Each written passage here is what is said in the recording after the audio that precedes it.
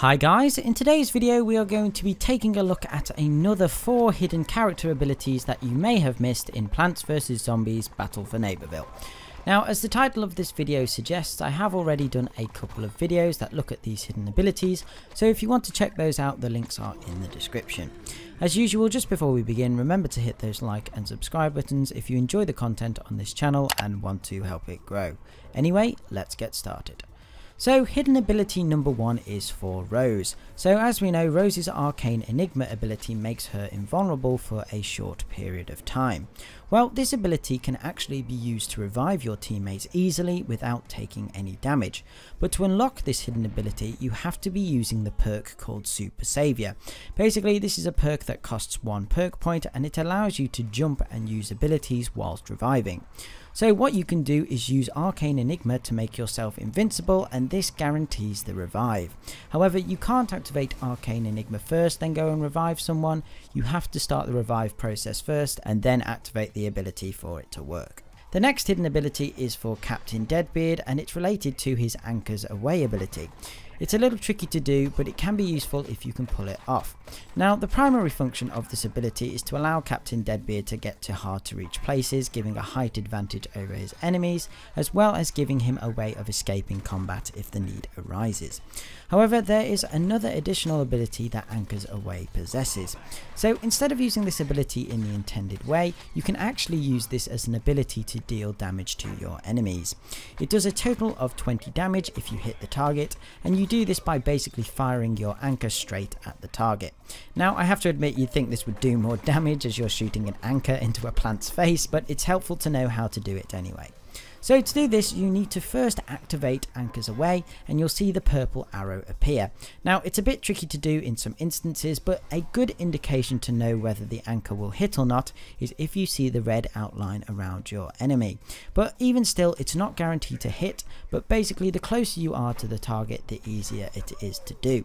So I'd recommend using this in conjunction with the scurvy scatter shot either to do an extra bit of damage or to use it when you need to reload. It has the potential to finish off a character without you having to reload, in which time you could have been vanquished by your opponent.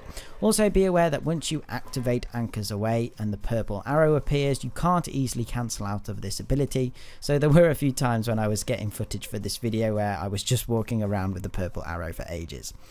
Hidden ability number 3 is for Citron and this one is super helpful for dealing with Z-Mechs. So Citron is arguably one of the best defensive characters in the game, mainly because of his insanely powerful shield, but he also has his EM Peach ability, which is designed to be used as a temporary stun, rendering your opponent pretty much useless for a couple of seconds. But there is an additional hidden ability with the EM Peach, and it makes a lot of sense because EM Peach is just a play on the term EMP, aka electromagnetic pulse, which can fry electrical circuits. So if you haven't already guessed where this is going, when it comes to dealing with Z-Mechs, this ability can be fired at Imp and it'll drain about a third of the mech's fuel, which is great for getting that pesky Imp out of the mech much faster, and if the mech has already used two thirds of his fuel and you use EM Peach, you will destroy the mech, forcing the Imp out. The final hidden ability is for Acorn, so recently I've discovered just what a powerhouse Acorn is, let alone Oak. He's really small, making him difficult to hit, has 125 health, which is much higher than the other small characters. He does a lot of damage with his primary weapon and is really agile. However, because of his small size, it can be difficult to reach spots that will give you a height advantage over enemy players or escape out of harm's way. But do not fear, this is where hidden ability 4 comes into play, so Acorn has an ability called Sap Trap, and this essentially is a sticky bomb that can be fired, and when it explodes it can do up to 65 damage, as well as knock back enemies in quite a hilarious fashion. But you may have noticed that this ability can also knock Acorn back. However, you may not have known that this can be used to your advantage, as it can blast you high up in the air, which will enable you to escape combat, get to high places and or confuse your enemies. So to get the most benefit from this boost, you need to put the sap trap on the floor, then go and stand on top of it. Next you want to jump and when you are at full height activate the sap trap explosion to give you the additional height required to get on top of buildings and a number of other things. So you don't have to jump on it for it to work, it will still fire you into the air, but you won't go as high.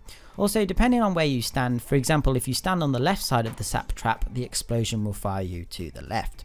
This ability can also be combined with Acorn Dash, so you get the height from sap trap, then use Dash to propel yourself forward in the air.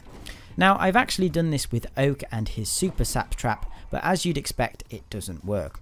I also believe there is a floating glitch relating to this ability. This has been covered on Psycho Sibbs' YouTube channel, so if you want to check that out, the link is in the description.